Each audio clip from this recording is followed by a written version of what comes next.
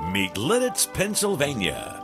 Founded in 1756, this sleepy little town is surrounded by farms. Some even have cows.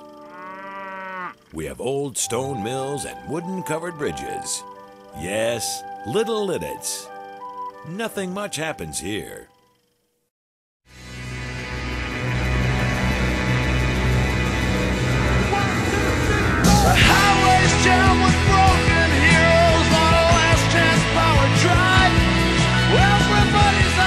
This most unlikely place, brothers Gene and Roy Clair started one of the live event industry's most prolific pro sound companies, one that would serve a legion of legendary music acts in venues throughout the world. Their client list is the envy of the industry. It began in 1955 One, two, three o'clock, four o'clock, rock. They received a PA from their father, which they put to work at sock hops. For their trouble, the boys would get $5 a gig, which rather than being spent at the local malt shop, always went into buying more equipment.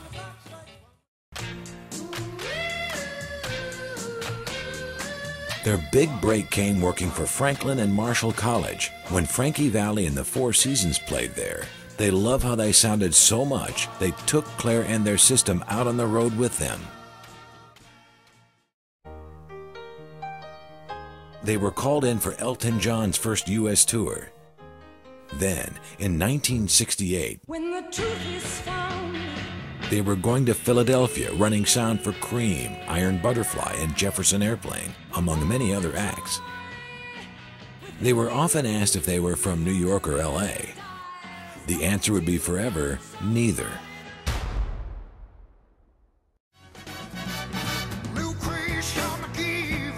In 1970, they were with Blood, Sweat, and Tears when the band went behind the Iron Curtain, playing in communist Eastern Bloc countries, a first for an American band. During this early period, they would also develop long relationships with acts like the Moody Blues, Chicago, and Yes.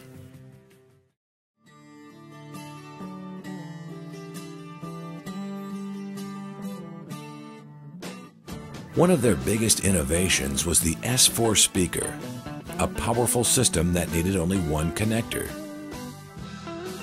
First used with Rod Stewart, it made Clair Brothers the talk of the industry. A key to their success, then and to this day, is in having an eye for talent. Bruce Jackson is one of the many audio engineering greats who worked for them, and he played a part in many of the company's greatest innovations.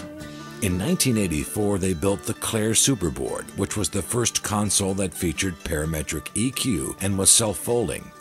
Developed by their engineers Jackson and Ron Borowiec, it set a new standard in pro audio boards.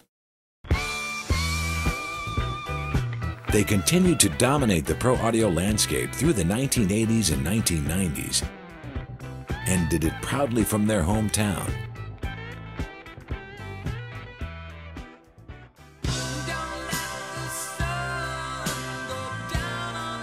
In 1995, Gene finished up a tour with Elton John and, going out on top, retired.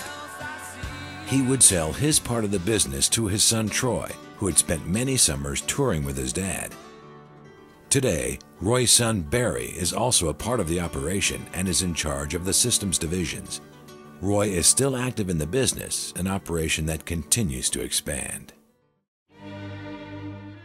And they are looked to for some of the most sensitive, challenging events. When the Pope needed a PA for his recent gig at New York's Yankee Stadium, the call went to the Clair brothers.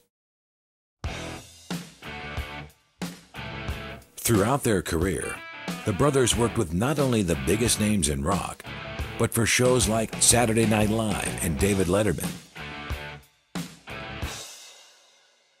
I've taken my bows. We grew slowly, Roy Clair says of their success. We weren't in a hurry, and we thought it was more important to be the best, not the biggest.